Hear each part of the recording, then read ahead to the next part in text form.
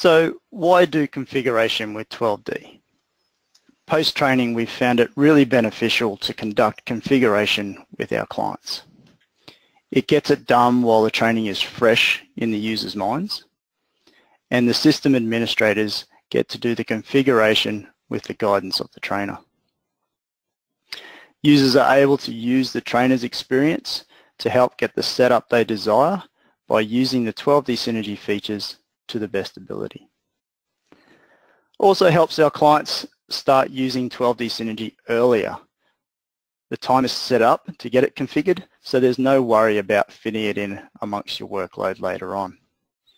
Then before you know it, a month has passed, two months, etc., and you're still not using 12D Synergy. It's just sitting there on your server, and of course, your colleagues will also be forgetting the training as well.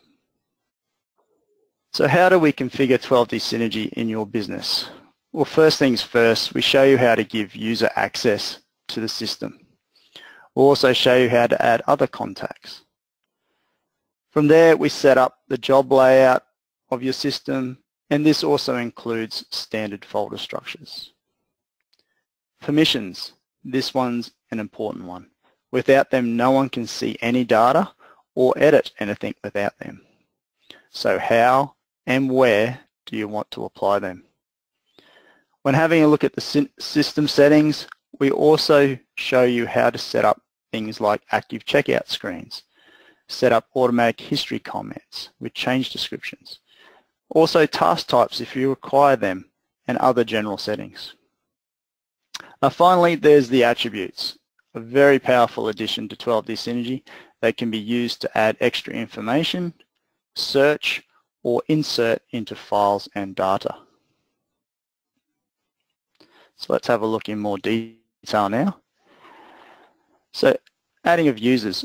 Of course, for your users to access the system, we show the administrators how to assign them a license, set what type of user they will be, and if they need to have a different module.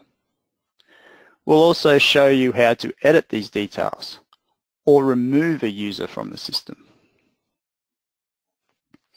We'll also show you how to add external contacts and if required, how to link them to a company.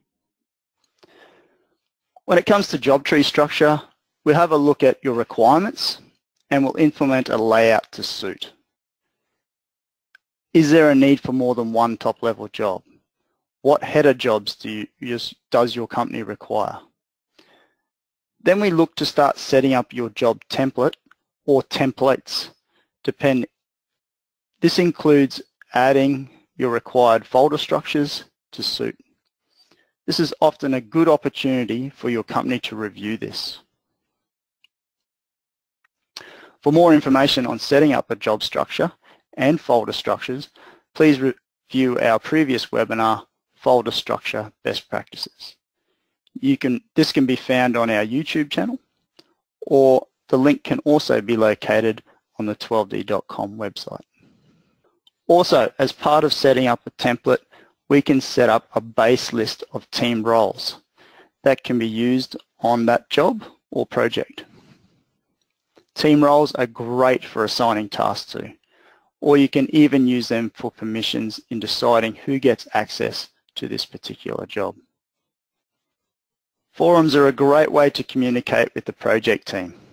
If you wish to use this feature, we will also add the forum names to suit your users. To help separate the transmittals, it's always great to create the appropriate issue file types in the templates as well. For example, if you wish to view all items that have been issued to a client, simply go to the client area under issue files. As mentioned earlier, permissions is key to your people being able to first see the data and then secondly, being able to edit it.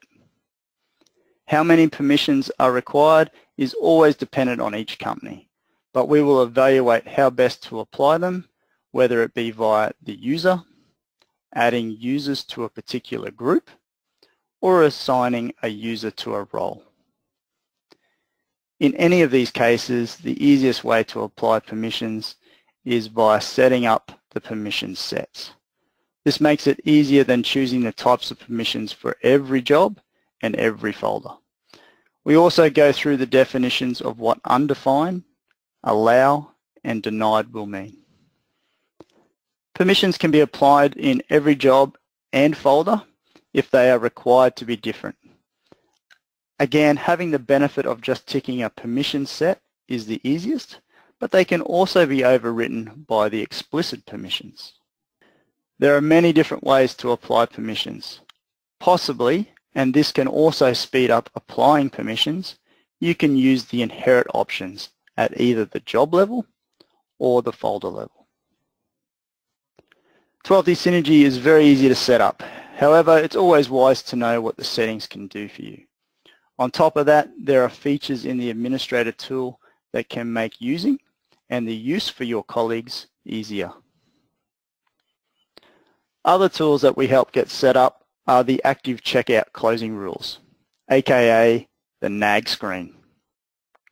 This warns you or can force you to check in any items that you have left checked out before exiting 12D Synergy. This is important so that your data is backed up on the server and or if you're away the next day, your checkout doesn't prevent others from accessing that file or data. The change descriptions is also handy so that your users don't have to type repetitive messages in the history comments. Instead, they can just select. As noted earlier, attributes are a very handy way of adding more properties. This will help provide more details to our jobs, folders, and files. Attributes can be inserted into files, therefore you never have to worry about typing the wrong details. They can also be used to create naming rules for your files or to help describe your files. For example, is the file under review or has it been approved? Or maybe it's just an issue number for things like CAD drawings. We'll also show you how you can use attributes to automatically fill out documents. For example, using a Word template with matching attribute fields so that they then populate with the job's values once brought into that job. There are also system attributes to set up like 12D model project attributes, company and contact attributes. These again help provide extra details. The email tracing in Synergy is a great feature and to use this a stamp referencing an attribute or attributes requires setting. Likewise with an issuing file attribute. Again, this provides more detail, like why something is being issued. The final steps with the job templates and attributes is to link them together. Upon job creation, we will show you how to choose the desired template using an attribute, and also how using those attributes can automatically name your job. With 12D Model in CAD, if required, we can also assist in setting up your 12D Model libraries for use in 12D Synergy and how to use sharing in Synergy 2. We can also show how to XREF CAD drawing, CAD drawings using Synergy paths and how the 12D Synergy plugin toolbar work